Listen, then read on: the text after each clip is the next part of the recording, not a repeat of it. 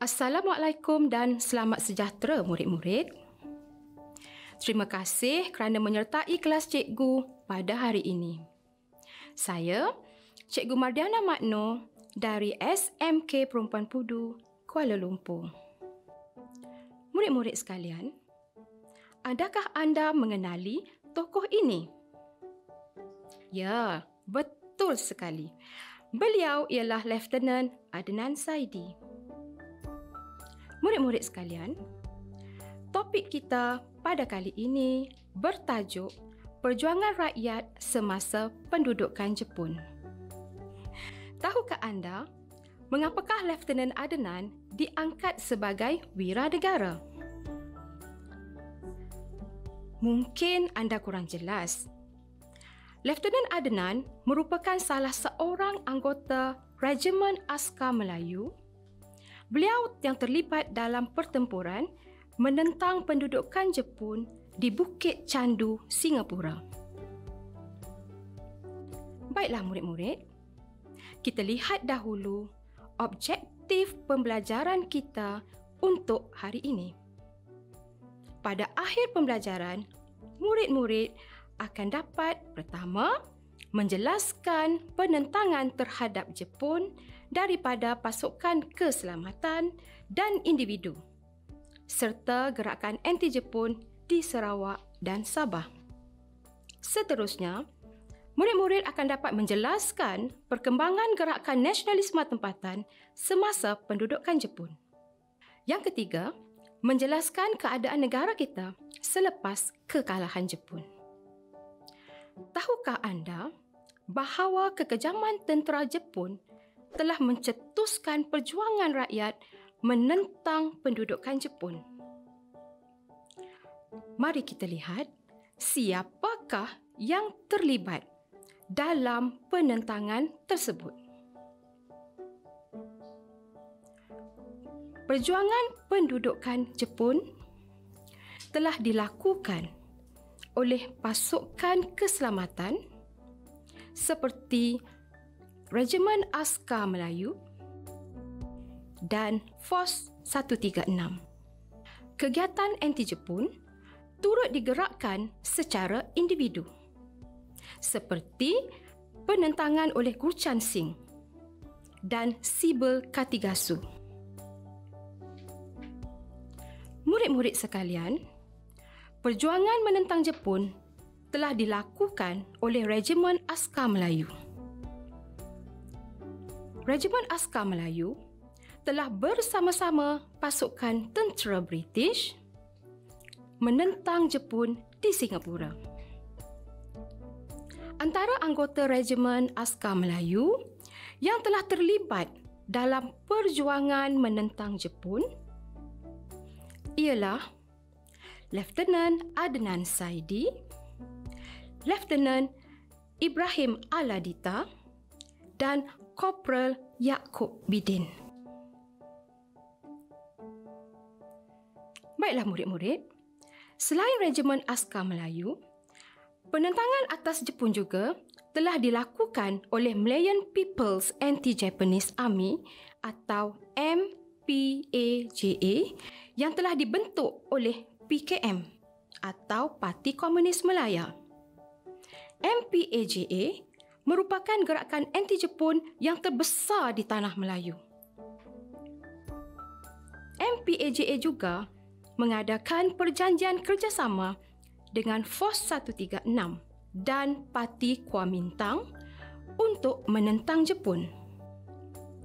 Penentangan terhadap Jepun juga disokong oleh British British telah membentuk unit khas yang dikenali sebagai 136 pada tahun 1943. Anggota Force 136 telah mendapat latihan di India dan Sri Lanka. Mereka kemudian telah dihantar ke tanah Melayu untuk menentang Jepun. Force 136 telah mencetuskan penubuhan gerila anti-Jepun pasukan gerila anti-Jepun atau Pertubuhan Gerila Melayu yang terdiri daripada askar Melayu setia, pasukan Wataniah Pahang dan gerila Melayu Kedah. Murid-murid, pernahkah anda mendengar tentang Gurchan Singh atau Sibil Katigasu? Ya, tepat sekali murid-murid.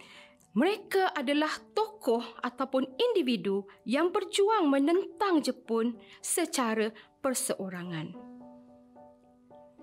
Gurchan Singh menentang pendudukan Jepun dengan menyebarkan propaganda dan risalah. Nama sebenar beliau atau nama samaran beliau, Lion of Malaya. Beliau telah ditangkap oleh Kempetai Jepun tetapi berjaya melarikan diri ke Burma sehingga perang tamat.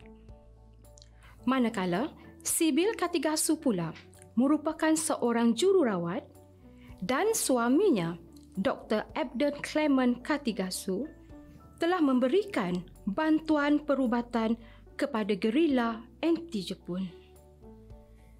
Sibil dan suaminya telah ditangkap dan diseksa oleh tentera Jepun sehingga suaminya terbunuh. Setelah kekalahan Jepun, Sibil Katigasu telah dibebaskan dan beliau telah dianugerahi pingat King George oleh King George ke-6. Murid-murid sekalian, perjuangan menentang Jepun ini bukan sahaja berlaku di tanah Melayu tetapi juga di Sabah dan Sarawak. Di Sarawak, operasi semut telah dilakukan oleh Australian Services Reconnaissance Department atau SRD untuk melancarkan perang gerila terhadap Jepun. Gerila semut diambil dalam kalangan orang Kayan, Kenyah, Kelabit, Murut dan Iban yang pakar dalam perang gerila menentang Jepun. Di Sabah pula, pemberontakan Jesselton juga dikenali sebagai pemberontakan Double Tense yang diketuai oleh Albert Kwok telah ditubuhkan pada bulan Oktober 1943. Pada bulan yang sama, kumpulan Albert Kwok yang dikenali sebagai Gerila Kinabalu telah melancarkan serangan terhadap Jepun. Ini menyebabkan beratus-ratus orang telah disoal siasat dan diseksa oleh tentera Jepun. Akhirnya, pada bulan Disember 1943, Albert Kwok telah menyerah diri. Beliau telah dihukum bunuh bersama-sama 175 orang yang lain di Petagas manakala 131 orang dipenjarakan di Labuan. Baiklah murid-murid, kini tibalah kita ke segmen uji minda. Kita lihat soalan. Pertama, siapakah antara tokoh-tokoh berikut yang merupakan individu yang menentang pendudukan Jepun di tanah Melayu? Siapakah tokoh-tokoh tersebut? Sila perhatikan satu persatu. Ya, tepat sekali jawapan anda. Tokoh individu yang menentang pendudukan Jepun di tanah Melayu ialah Gur Chan Sing dan Sibil Katigasu. Baiklah murid-murid. Tahukah anda pendudukan Jepun telah meninggalkan kesan yang amat besar terhadap kehidupan masyarakat di tanah Melayu. Baiklah murid-murid, seterusnya marilah kita lihat perkembangan gerakan nasionalisme tempatan dan pendudukan Jepun di negara kita. Baiklah murid-murid, dasar pemerintahan Jepun telah membawa kepada perkembangan semangat anti penjajah. Perjuangan menuntut kemerdekaan dalam kalangan orang Melayu dan kesedaran politik di Sarawak dan Sabah. Slogan Asia untuk Asia dan konsep lingkungan kesemakmuran Asia Timur Raya telah mencetuskan semangat anti penjajah dalam kalangan penduduk tempatan. Kesatuan Melayu Muda atau KMM telah bekerjasama dengan Jepun dan berharap Jepun dapat memberikan kemerdekaan kepada tanah Melayu. Seterusnya murid-murid, marilah kita lihat bagaimana perjuangan menuntut kemerdekaan dalam kalangan orang Melayu. Baiklah murid-murid, Jepun telah membebaskan ahli KMM yang telah dipenjarakan oleh British. Ini adalah kerana Jepun ingin mendapatkan sokongan daripada masyarakat tempatan. Namun demikian, pada bulan Jun 1942, Jepun telah membubarkan KMM. Ini adalah kerana pemimpin KMM telah menuntut kemerdekaan daripada Jepun. Walaupun KMM dibubarkan, perjuangan mereka tetap diteruskan dengan menyertai gerakan bawah tanah melalui Giyugan dan Giyutai. Akhir sekali, perkembangan gerakan nasionalisme tempatan telah mencetuskan kesedaran politik di Sarawak dan Sabah. Pendudukan Jepun telah menyuntik kesedaran berpolitik dalam kalangan masyarakat di Sarawak. Kegiatan penduduk Sarawak dikawal melalui persatuan yang ditaja oleh Jepun. Contohnya, Persatuan Cina telah digabungkan menjadi Kakyo Kokokai. Disebabkan Jepun kekurangan pegawai di Sarawak, orang Melayu dan orang Iban telah diberi jawatan dan kuasa sebagai pegawai daerah. Baiklah murid-murid, selain Sarawak, kesedaran politik juga berlaku dalam kalangan penduduk tempatan di Sabah. Seperti Empenit Adam di Simanggang dan Sate di Lawas.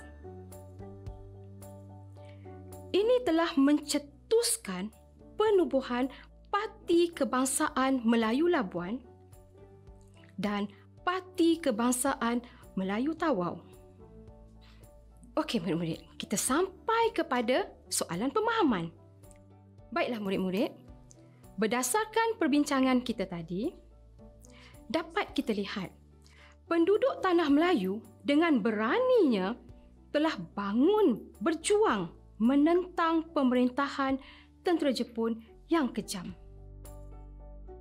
Andaikan jika kamu hidup pada zaman tersebut, adakah kamu juga akan bersama-sama berjuang menentang tentera Jepun? Fikir-fikirkanlah jawapannya.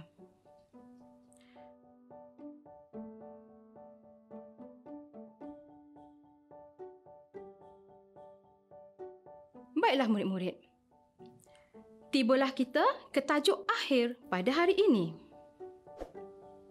Murid-murid sekalian, kita akan melihat keadaan negara kita selepas kekalahan Jepun. Murid-murid sekalian, marilah kita lihat kronologi kekalahan Jepun dan seterusnya pengakhiran Perang Dunia Kedua. Pada 6 Ogos 1945, bom atom Little Boy telah digugurkan ke atas bandar Hiroshima dan pada 9 Ogos 1945, bom atom Fat Man telah digugurkan ke atas bandar Nagasaki. Akhirnya, pada 15 Ogos 1945, Maharaja Hirohito telah mengumumkan Jepun menyerah kalah. Pengguguran bom ke atas Hiroshima dan Nagasaki telah membawa kepada kekalahan Jepun. Kekalahan Jepun ini menandakan berakhirnya atau tamatnya Perang Dunia Kedua. Seterusnya murid-murid, marilah kita lihat rentetan peristiwa penyerahan kalah tentera Jepun di Tanah Melayu. Pendaratan pertama tentera British di Pulau Pinang berlaku tiga minggu selepas Jepun menyerah kalah, iaitu pada 3 September 1945. Pemerintah tertinggi tentera Jepun ke-37, Lieutenant General Masao Baba, telah menyerah kalah di Surrender Point, Labuan pada 10 September 1945. Seterusnya, pada 11 September 1945, Major General Hioi Yamamura telah menyerah kalah kepada tentera bersekutu di atas kapal tentera laut Australia HMAS Kapunda di Kuching, Sarawak.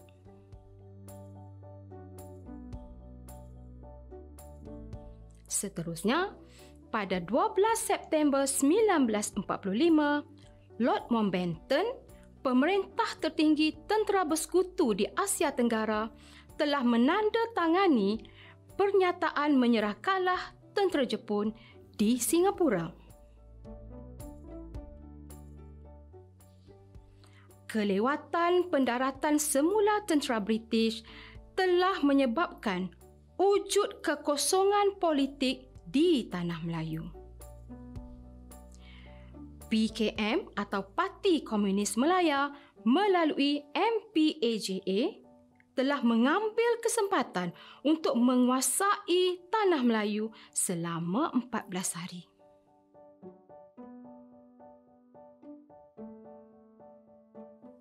Selain itu, Bintang Tiga telah menjalankan undang-undang sendiri. Antara keganasan Bintang seperti menyeksa dan membunuh anggota polis. Bintang Tiga juga telah menjatuhkan hukuman mati terhadap sesiapa yang bekerjasama dengan Jepun. Keganasan Bintang Tiga telah mencetuskan tindak balas orang Melayu. Gerakan Fisabilillah telah ditubuhkan.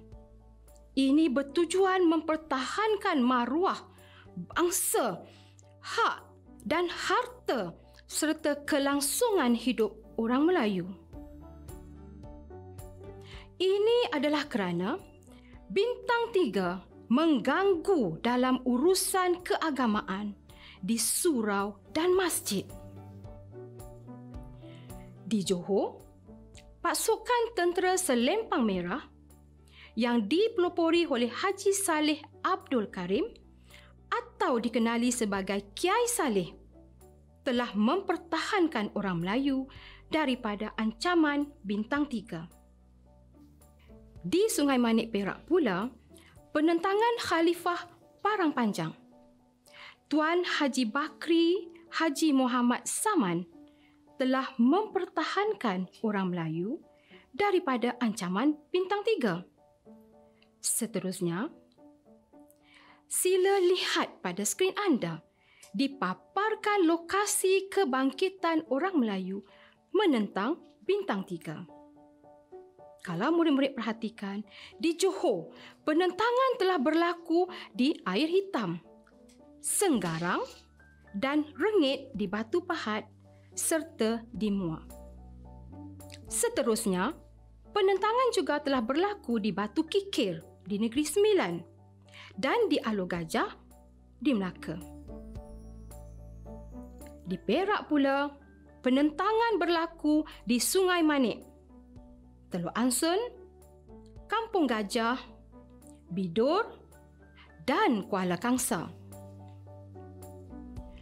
Manakala di Pahang, penentangan berlaku di Temerloh dan di Rauk. Akhir sekali, penentangan juga berlaku di Kedah, iaitu di daerah Baling. Kebangkitan orang Melayu menentang bintang tiga yang mencetuskan pergaduhan kaum akhirnya telah menyedarkan pemimpin masyarakat dan raja-raja Melayu tentang kepentingan perdamaian. Datuk On Jaafar telah dilantik sebagai pegawai daerah Batu Pahat. Beliau telah diberi tugas untuk menamatkan kekacauan dan memulihkan keamanan di Batu Pahat. Datuk On telah mengatur perundingan antara Kiai Saleh dan pemimpin-pemimpin Melayu dengan ketua bintang tiga di Dewan Perniagaan Cina Batu Pahat. Datuk On telah berjaya memujuk Kiai Saleh supaya membebaskan orang Cina yang ditahan di Parit Raja manakala bintang tiga pula telah menamatkan penguasaan mereka di Balai Polis Batu Pahat.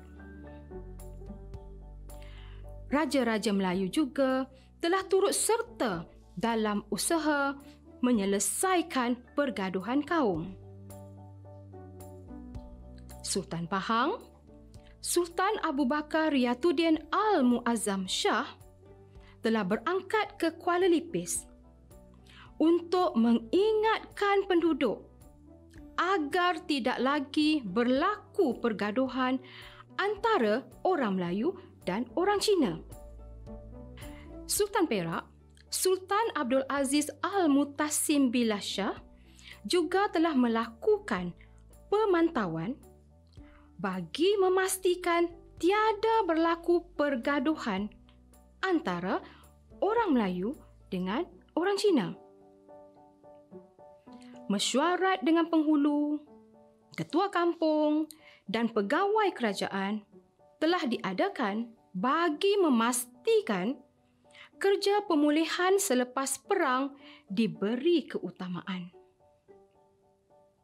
Akhir sekali, permusuhan antara kaum juga berlaku di Sarawak. Ketegangan antara kaum berlaku di beberapa tempat sebelum pendaratan tentera Australia pada 11 September 1945. Di Kuching dan Kanawit, permusuhan berlaku antara bekas gerila pribumi yang dilatih oleh Services Reconnaissance Department atau SRD dengan orang Cina yang bersubahat dengan tentera Jepun. Baiklah murid-murid, tibalah kita ke akhir pembelajaran untuk kali ini. Adakah murid-murid faham dan dapat mengambil iktibar daripada apa yang kita pelajari pada hari ini? Ya, benar murid-murid. Antara iktibar yang dapat diambil ialah kita perlu mengamalkan hidup bersatu padu agar dapat mengelakkan daripada berlakunya ketegangan kaum. Kita juga mestilah bersama-sama bagi menjamin keadaan negara sentiasa aman dan harmoni. Selain itu, kesengsaraan dan penderitaan yang dialami penduduk tanah Melayu sepanjang pendudukan Jepun telah mengajar kita supaya bersyukur dengan kebebasan yang kita kecapi dan nikmati selama ini. Baiklah, sekian dahulu untuk kali ini. Jumpa lagi di lain siaran. Assalamualaikum warahmatullahi wabarakatuh.